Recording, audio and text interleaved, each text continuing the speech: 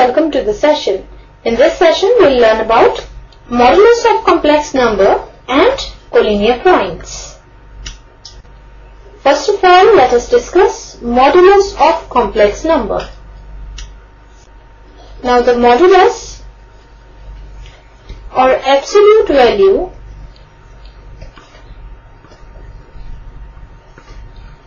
of a complex number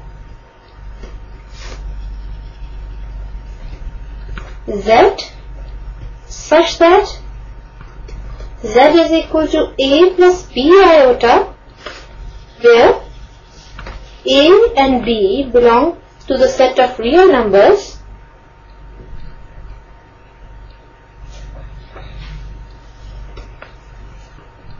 Is given by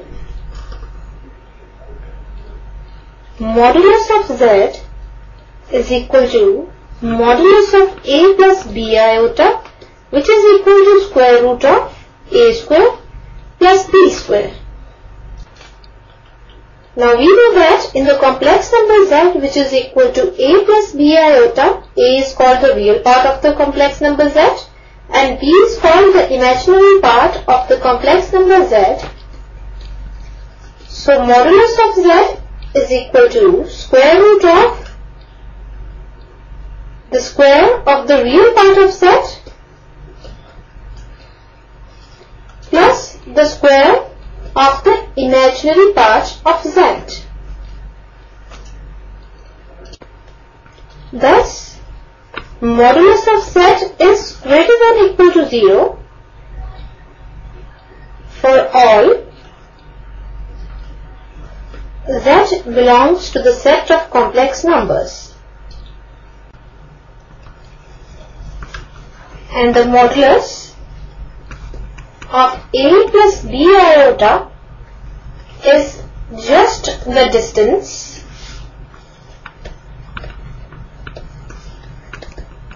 from the origin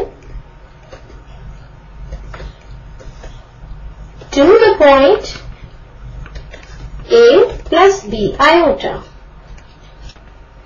Now let us discuss the modulus of a complex number z which is equal to a plus b iota diagrammatically. Now here the point A whose coordinates are AB is representing the number that is the complex number z which is equal to a plus b iota. Now the distance OA that is the distance of the point A whose coordinates are AB from the origin is equal to the modulus of z which is equal to square root of a square plus b square. Now let us discuss one example. Now here let the complex number z is equal to 4 plus 5 iota. So modulus of z will be equal to square root of a square plus b square. Now here a which is the real part of z is equal to 4 and b which is the imaginary part of z is equal to 5. So modulus of z is equal to square root of a square that is 4 square plus b square that is 5 square. So this is equal to square root of 16 plus 25 which is equal to root 41. Now let us find the modulus of cos theta plus iota sine theta. So this is equal to square root of a square. Now a here is cos theta. So it will be cos square theta plus b is sine theta. So b square will be sine square theta. Now this is equal to now we know that cos square theta plus sine square theta is 1. So this is equal to root 1 which is equal to 1. Now let us discuss one theorem. Now according to this theorem, if Z1 and Z2 are complex numbers of two points A and B on the Argand plane then the distance between them is given by AB which is equal to modulus of Z1 minus Z2. Now let us prove this theorem. Now let the complex number Z1 is equal to P plus Q iota and the complex number Z2 is equal to X plus Y iota. Now the complex number Z1 which is equal to P plus Q iota is represented by the point A whose coordinates are PQ and the complex number Z2 which is equal to X plus Y iota is represented by the point B whose coordinates are X, Y. Now by distance formula,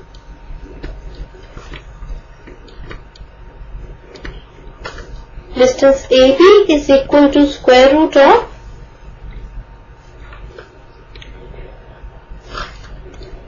P minus X whole square plus Q minus Y whole square.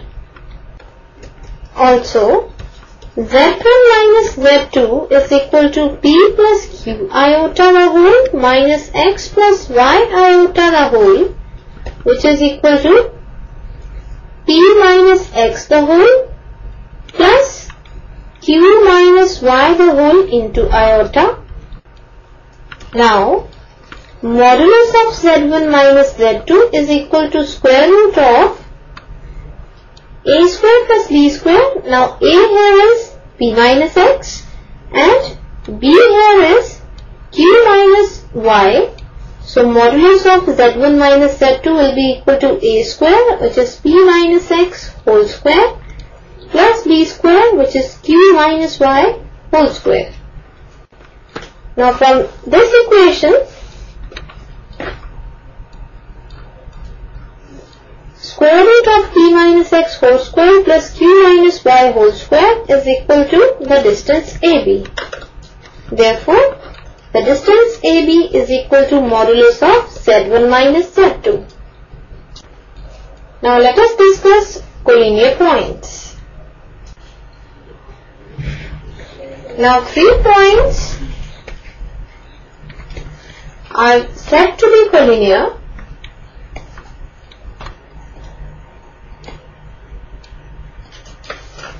if they lie on the same straight line. Now here P, Q and R are collinear points as these points lie on the same straight line. So here we can say that the points P, Q and R are collinear points if PQ plus QR is equal to PR. That is, if this distance PQ plus the distance QR is equal to the distance PR, then the points P, Q and R are called collinear points. Now let us discuss one example and in this we have to prove that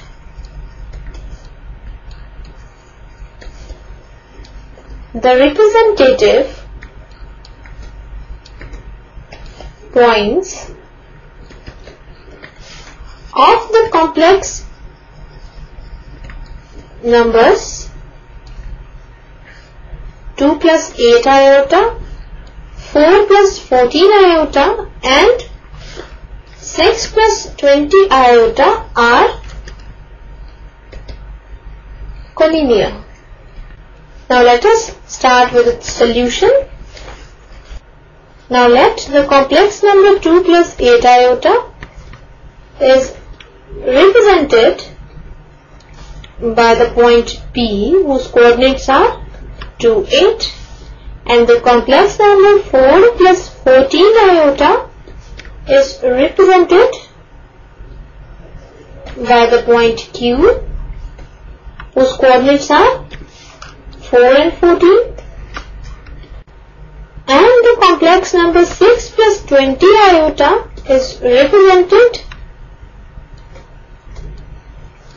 by the point R whose coordinates are 6 and 20. Now we have to prove that the points P, Q and R are collinear points. For this, we will satisfy this condition of collinearity and if this condition is satisfied then the three points are collinear. Otherwise, they are non-collinear. So let us find out the distance PQ now the distance PQ is equal to square root of that is by the distance formula we can find out the distance PQ which is equal to square root of the square of the difference of the abscissa that is 4 minus 2 whole square plus the square of the difference of the ordinates which is 14 minus 8 whole square which is equal to square root of 4 minus 2 whole square will be 2 square and that is 4 plus 14 minus 8 whole square is 6 square that is 36 and this is equal to root 40 which can be written as 2 root 10. Now these are the coordinates of Q and R. Now the distance QR by distance formula is equal to square root of 6 minus 4 whole square plus 20 minus 14 whole square which is equal to square root of 2 square which is 4 plus 6 square which is 36 this is equal to root 40 which is equal to 2 root 10 now these are the coordinates of P and R. Now the distance PR is equal to square root of 6 minus 2 whole square plus 20 minus 8 whole square which is equal to square root of 4 square 12 square which is equal to square root of 16 plus 1 44 which is equal to root 160 which is further equal to 4 root 10 now PQ is equal to 2 root 10, QR is equal to 2 root 10 and PR is equal to 4 root 10. So as 2 root 10 plus 2 root 10 is equal to 4 root 10, therefore PQ plus QR is equal to PR. Hence, the points P, Q and R are collinear points. Now let us discuss the collinearity of these points on the graph. For this we will plot the points P, Q and R on the graph. So we have plotted the points P, Q and R on the graph where the point P is representing the complex number 2 plus 8 iota. The point Q is representing the complex number 4 plus 14 iota and the point R is representing the complex number 6 plus 20 iota. Now by joining all these points you can see that we are getting a straight line. That means the points P, Q and R are lying on the same straight line. Thus, the points P, Q and R are called collinear points. So in this session we have learnt about modulus of a complex number and collinear points. So this completes our session. Hope you all have enjoyed the session.